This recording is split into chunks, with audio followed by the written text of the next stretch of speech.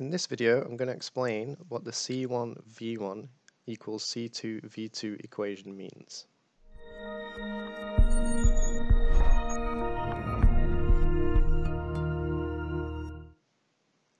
So C1V1 equals C2V2 is actually short for C1 multiplied by V1 equals C2 multiplied by V2.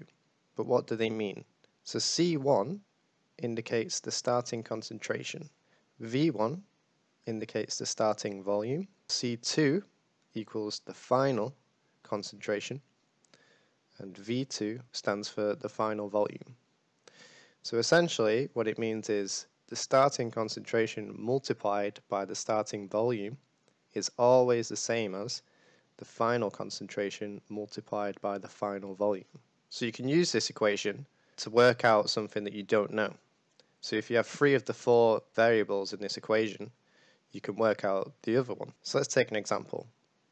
Say we wanted to work out the starting concentration of something, and we know what the starting volume is, the, the final concentration, and the final volume. To do this, all we have to do is rearrange the, the equation to take the V1 over to the other side. Therefore, you would then divide by V1. So the starting concentration would therefore equal the final concentration multiplied by the final volume divided by the starting volume. If we wanted to work out the final volume of something, you would then take C2 over to the other side. Let's look at an example. So the example is calculate the amount of 10 micromolar forward primer solution to add to a PCR reaction. In brackets, it is a 25 microliter total reaction volume to make a final concentration of 0.4 micromolar forward primer in the reaction. Let's break this down. At the very start, it's saying calculate the amount. So we know this is a volume. And it's saying calculate the amount of forward primer solution to add. So this would indicate it's asking for the starting volume. And then we have three numbers here. The first one, indicated by the 10 micromolar, is actually the starting concentration. And what we have next is a 25 microliter total reaction volume. So that is the final volume, so V2. And it's also saying that there's a uh, the final concentration is going to be 0.4 micromolar. So this would be C2. So essentially we need to work out V1 from these numbers. So we can do that by using the C1 V1 equation. So I've put the example up here, put a little side note here of the things that we know and the things that we don't know. So obviously V1 is something that we don't know. If you plug all these numbers into the C1 V1 equation, comes out like this. And all we need to do is to take this 10 over to the other side.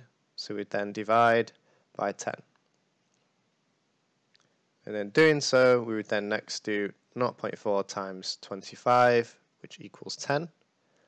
10 divided by 10 is obviously 1. So the answer to the question is 1 microliter. Let's have a look at another example.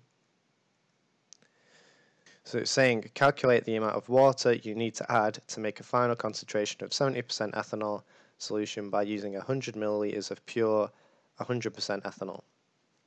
So what do we have in the question? So it's saying to make a final concentration of 70% ethanol, so this would be C2,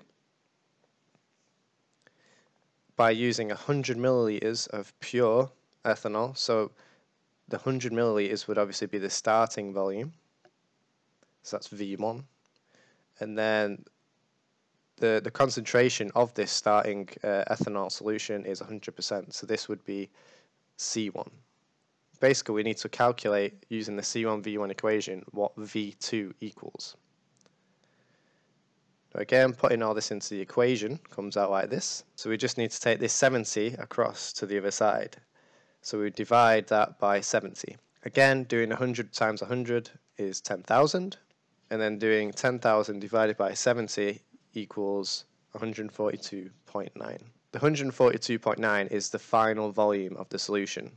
But the question is saying calculate the amount of water you need to add to make this solution by using 100 milliliters of ethanol. So all you would do is you would do 142.9 minus 100 which equals 42.9 milliliters, and this would be the amount of water you would then need to add to make a final concentration of 70% ethanol.